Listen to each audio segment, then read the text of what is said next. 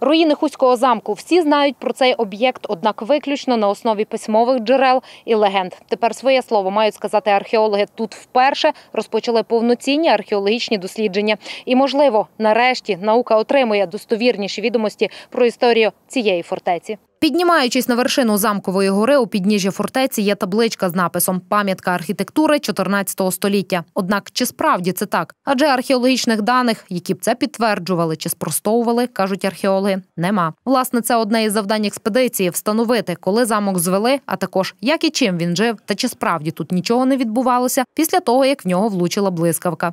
Ми маємо письмові джерела, які нам свідчать, що замок побудований е, з такого то часу існував до певного проміжку часу, і є е, науково-популярна популярна література, яка накріпко всілася в свідомості людей, що цей замок побудований по одних даних з 10 століття, по інших з 11 століття, що не вкладається повністю в ну, як кажуть, середньовічне е, зодчество в Європі. Розкопки тривають трохи більше тижня, і звичайно ж за такий короткий термін впоратися зі всіма завданнями, які стоять перед науковцями, неможливо. Проте вже є перші археологічні знахідки. Одними з найцікавіших є монети, а також заготовки для виготовлення фальшивих монет. Виявляється, у 16-17 століттях тут активно карбували свої гроші.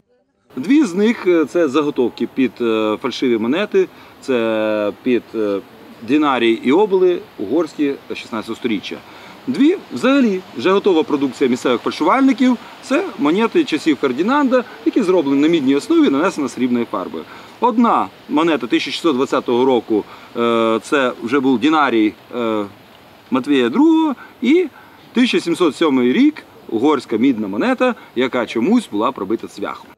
Окрім того, археологи знайшли чимало фрагментів кераміки, яка дає уявлення про розвиток мистецтва та побуту в замку у різні періоди його існування. Щодо руїн самої фортеці, то наразі археологи знайшли приміщення, яке використовували як кімнату коменданта. Сьогодні, щоб зранку ви приїхали, ви були б на підлозі е, кімнати, яка функціонувала в на початку ХХ століття. От її рівень. От пішов.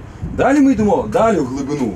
От низ жовтої штукатурки це початок 20-го сторіччя. Так. Потім це дос- засипали до от е, цього от рівня Так, і поставили вже кімнату всередині 20-го сторіччя. типу над нею. Да, над, над нею. Да. Варто додати, що в розкопках беруть участь студенти, історики УЖНУ і таким чином проходять практику. кажуть, що долучитися до якихось епохальних відкриттів безцінно.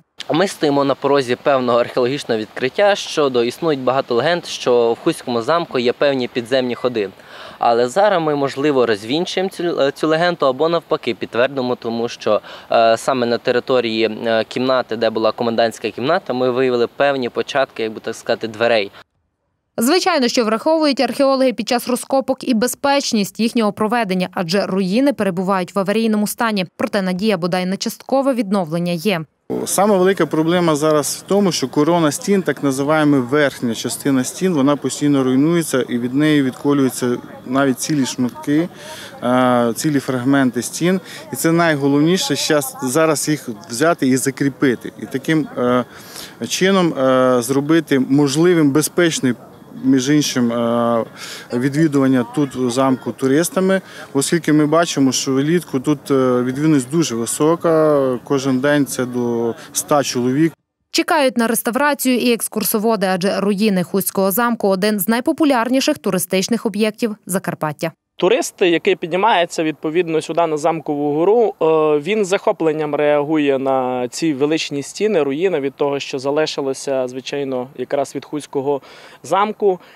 Ще, звичайно, дуже впливає на нього сам краєвид. Звідси відкривається захоплююча панорама на долину русла річки Теси, на вулканічні Карпати, вигорлад готичного вулканічного гірського масиву. І беззаперечно тут е, кожен себе може відчути чим птахом.